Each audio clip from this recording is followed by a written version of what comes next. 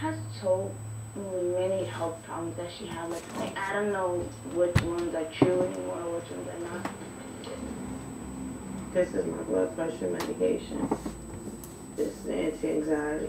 And if you saw me have a panic attack, I've been hospitalized by a panic attack.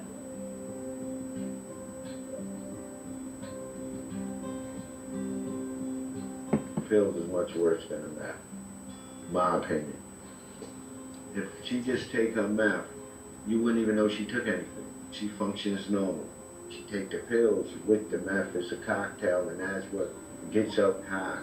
I've learned a lot of them will take the medication that they prescribe with methadone, either stay high longer or to get higher when they take it.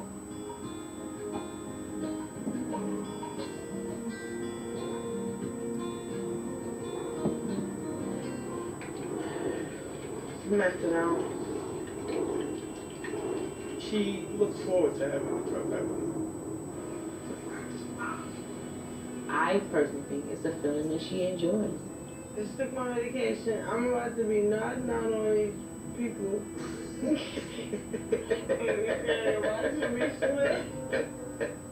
She can't even speak. She mumbles and you can't understand her. She starts to nod off. I'm out. She's not in the right state of mind and anything can go wrong. I know that there have been times she's almost been hit by a car because she was high. Turn the pot on on the stove, nothing in it, but something in it. It burns out, boil out. Nicky, up. Oh, Nicky, look what you did. I didn't do that. Just cut that off for you. I ain't even cut it on. I ain't cut it on either. Methadone and these drugs she had really taken control of her life. Like God forbid, what if she overdoses on it, or the mixture of her pills and the methadone can lead to death.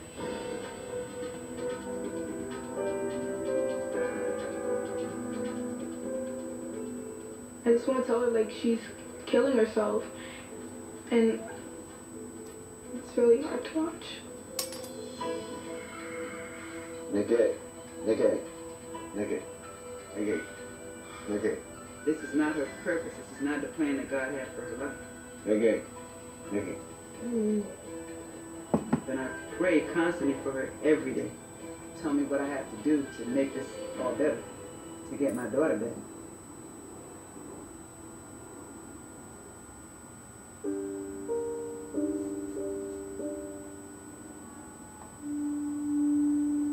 Growing up, I was quite aware of the living conditions in the Bronx at that time. In the area that we live is in a lot of derelicts hanging around the corners.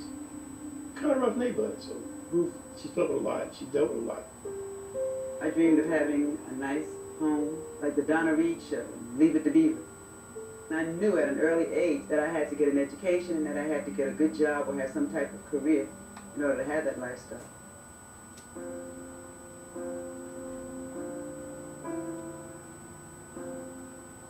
I believe it was the last day of high school is when I went into labor and Nikki was born. She was a beautiful little girl. She was wonderful, and she just always seemed so smart um, and caring. I just imagined that she was going to have this wonderful life. And I knew that she would want to be someone who was important, someone who did great things.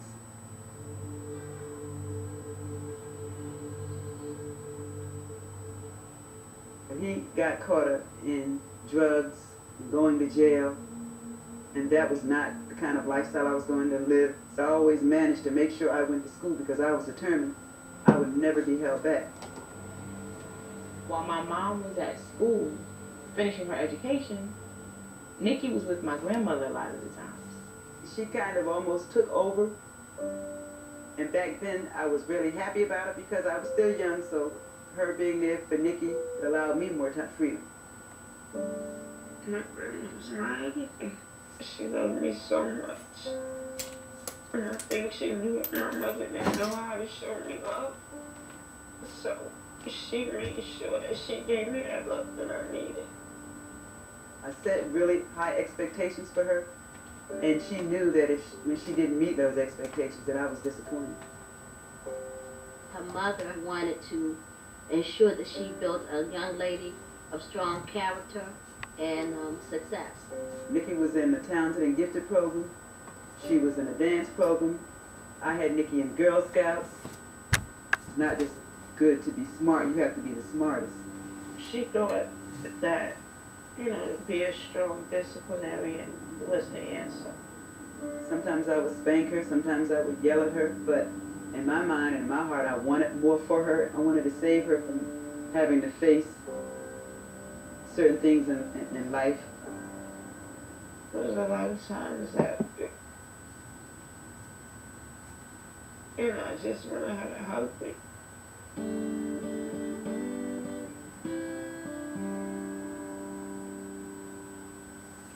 Nikki seemed to really love the fact that she had a little sister.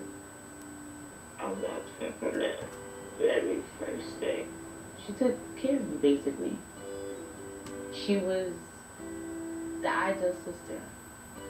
Me being able to invite my friends over and Nikki would help teach us the new dance move.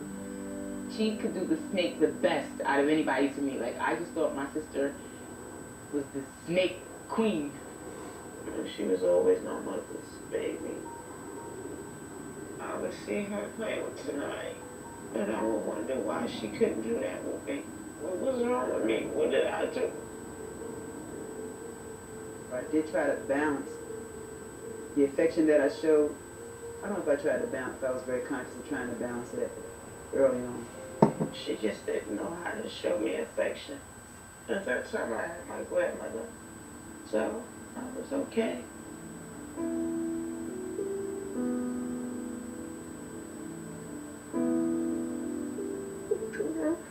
That I had that I knew loved me was dead.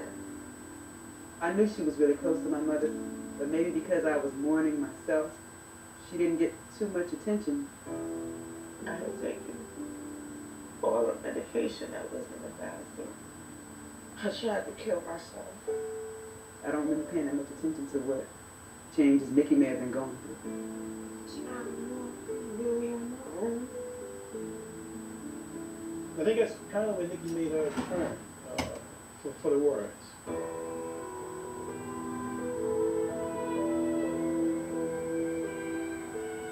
It was a way of escaping. Escaping. I didn't have to think about my grandmother not being here anymore. I didn't have to think about my mother. I didn't have to think about anybody. She resorted to staying out in neighborhoods that were, were horrible. And I couldn't understand why would you want to go to this friend's house, look at the conditions here, and not be at home. I was using crack cocaine. After you do it the first time there, there's no more good feeling. It's just chasing it. When I really learned that she was using drugs, I um, applied to get her a scholarship for a drug treatment facility.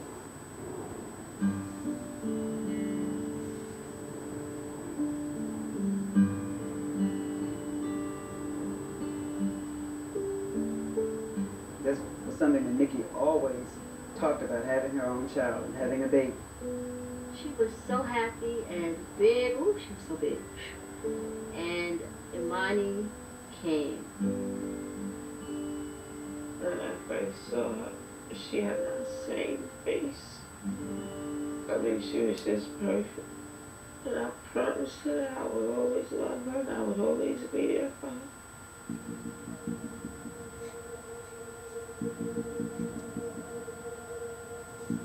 After the pain medication, and I started drinking again. But on the weekends, my mother, she always took Imani. So that was my time to, you know, have fun and let loose go out. We began to see that Nikki began to slip back into going out and using drugs again. I realized that she was using and she was beginning to be neglectful. And I ended up going to family court and I got custody of Imani.